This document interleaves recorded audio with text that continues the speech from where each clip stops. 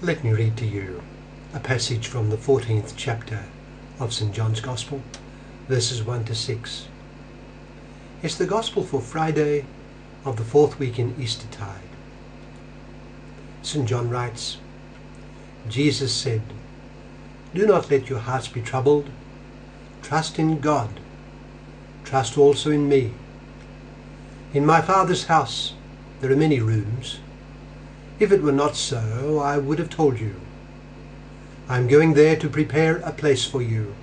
And if I go and prepare a place for you, I will come back and take you to be with me, so that you also may be where I am. You know the way to the place where I am going. Thomas said to him, Lord, we do not know where you are going, so how can we know the way? Jesus answered, I am the way and the truth and the life. No one comes to the Father except through me. That's from John chapter 14, 1 to 6. It speaks of the afterlife. What do I mean? Well, you know, I vividly remember watching the Australian movie decades ago called Jedda.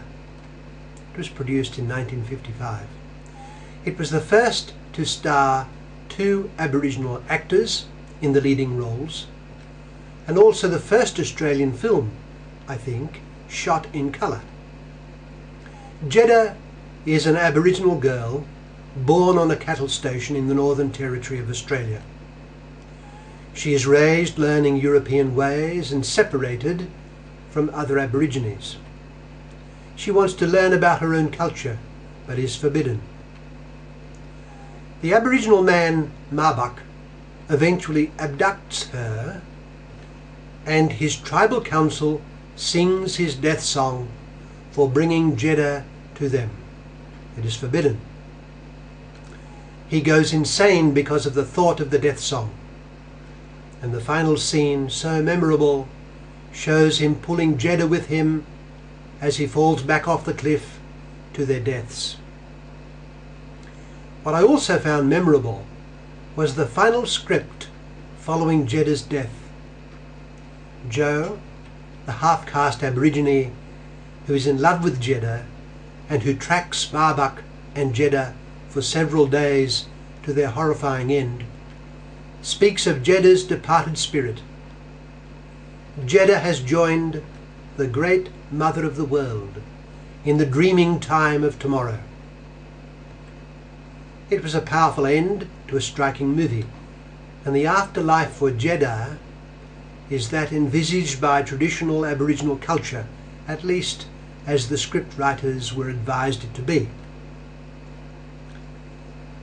There has been across the ages a great variety of understandings of the afterlife in culture and in religion.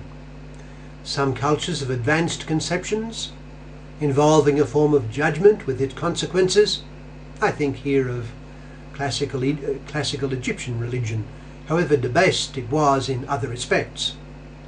Other cultures have had the most meagre of notions of an afterlife. Even revealed religion prior to Jesus Christ did not have a special strength in this particular respect. Its notion of the one and only God who was bridegroom of his people was extraordinary when set against the religious world of its time. But there was not a lot on the afterlife. The case was altogether different with Jesus Christ.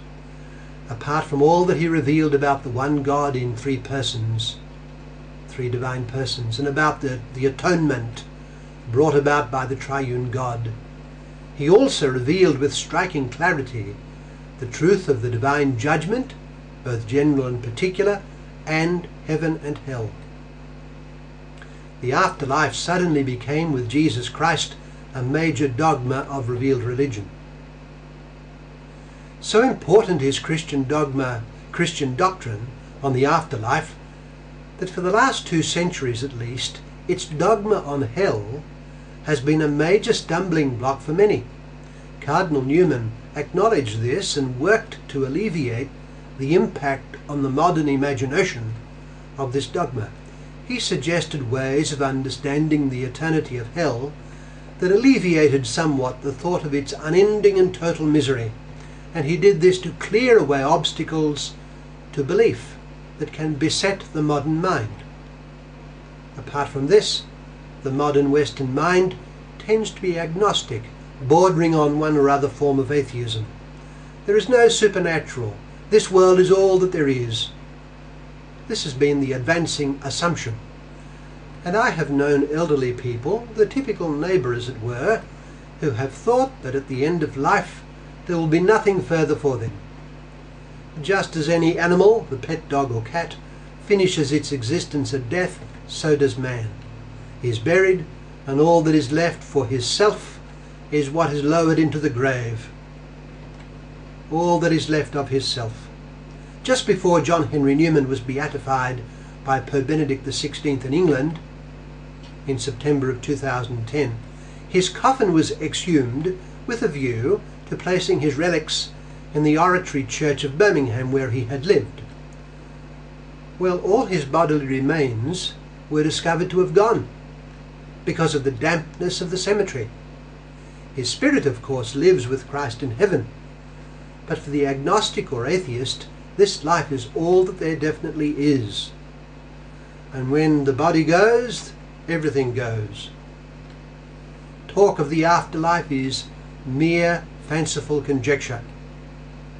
But no, we have it on the word of Jesus Christ, confirmed by the powerful tradition of his church, that there is a judgment, and then heaven or hell. Well, all this brings us to our gospel today that I read earlier from John chapter 14, verses 1 to 6, in which our Lord speaks so wonderfully of heaven. There is nowhere, nowhere in the scriptures prior to Jesus Christ any teaching so exalted as is his teaching on heaven. In my Father's house there are many rooms. If it were not so, I would have told you. I am going there to prepare a place for you. And if I go and prepare a place for you, I will come back and take you to be with me, that you also may be where I am. Every day of our lives, we have something wonderful to look forward to. It is our everlasting homeland of heaven. The great Rosary Crusader of the second half of the 20th century, Irish priest Father Patrick Peyton, once said that he was looking forward to death. He was a man full of peace, joy and kindness. The reason why he was looking forward to death was not because he was suffering so much and looked forward to a release from it. He was looking forward to heaven, and death was the door to heaven. Heaven, of course, is our meeting with and living together with forever Jesus Christ. Father Peyton longed to see the face of Jesus Christ. This alters everything about death. From being a dark black hole into which we must fall, it becomes a door suffused with light. Heaven. Let us never lose sight of it. It will fill all our days with music. Music that lasts forever.